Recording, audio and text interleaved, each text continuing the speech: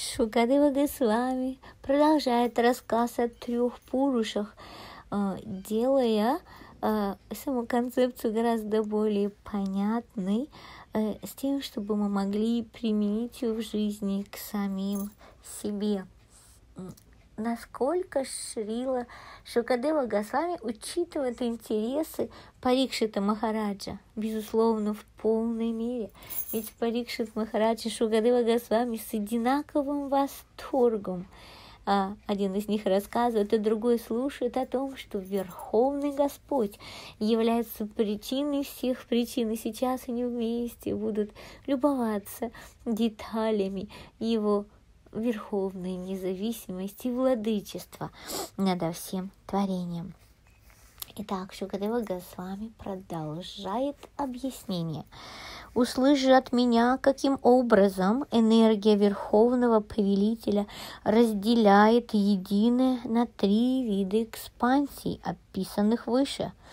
Властвующие существа Адхидайва, Адьятма подвластные существа, а также от хипхута материальные тела. Из неба, которое находится в трансцендентном теле проявляющегося Махавишны.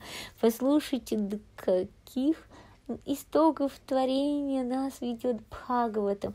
Так удивительно, что мы имеем возможность получить рассказ о том, что было до творения, как все начинается всякий раз, когда Господь решает начать проявляться. Итак, возникли из неба энергия чувств, сила ума, физическая сила, а также источник совокупной жизненной энергии.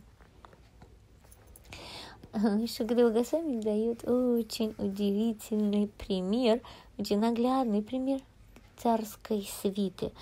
А, ведь царская э, свита всегда следует за своим повелителем. И абсолютно так же живые существа движутся, когда совокупная энергия, материальная энергия пребывает в движении. Но как только она перестает действовать, деятельность всех живых существ тотчас прекращается.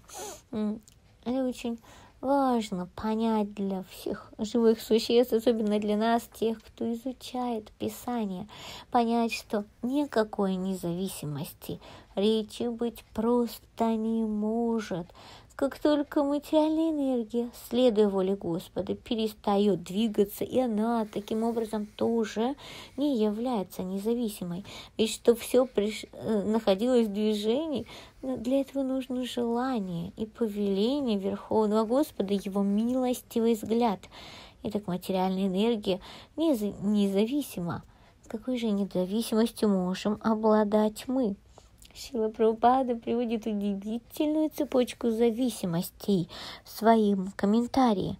Итак, электрическая лампочка, электрические приборы, а хороший пример, они полностью зависят от работы гидроэлектростанции. Электростанция полностью зависит от уровня воды в водохранилище. Количество воды в водохранилище зависит от воды с неба, которые накапливают тучи. Тучи зависят от солнца, которое испаряет воду из резервуара воды на поверхности планеты. А солнце зависит от творения, оно тоже сотворено.